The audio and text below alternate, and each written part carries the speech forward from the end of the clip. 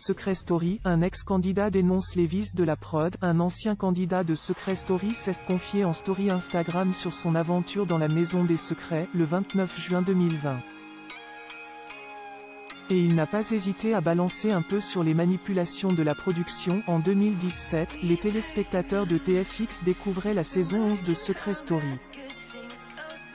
Une édition à laquelle ont participé Charlène, 25 ans, et Benoît, 29 ans.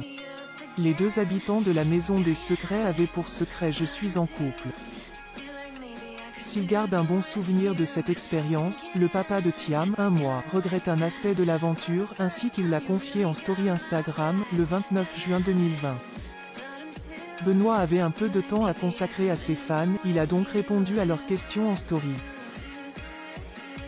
Lund a voulu savoir si tout ce qu'il s'était passé entre Charlène et lui pendant l'aventure était une mise en scène. De la mise en scène, oui et non. C'était surtout beaucoup de vices, cette émission. Chacun doit avoir un personnage, un rôle. Pour faire court, on s'est rendu compte que certaines missions qu'Owen nous donnait dans la maison au confessionnal n'étaient pas expliquées à la télé, mais qu'elles étaient diffusées comme agissement normal de notre part. On acceptait l'émission pour le jeu et comme nous ne sommes pas au courant de ce qui était diffusé, nous nous faisions avoir, a-t-il expliqué. Des propos déjà étaient tenus par d'autres anciens participants. Lors de son aventure, Benoît s'était rapproché de Barbara au départ afin que personne ne suspecte qu'il était en couple avec Charlène. Mais selon certains téléspectateurs, le beau brun était allé trop loin. Même Charlène n'avait parfois pas le moral face à ce rapprochement. Mais il faut croire que l'ex-candidat était parfois en mission.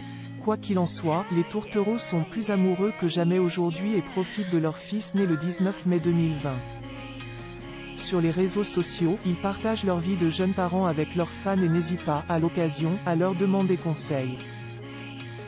Comme quand a commencé à avoir des coliques, peut-être que Benoît et Charlène annonceront prochainement leur fiançailles. En story, le jeune homme a dit que c'était la suite logique. Il fera peut-être sa demande devant les caméras de l'émission de TFX Maman est célèbre. Le couple a en effet rejoint la saison 2 du programme.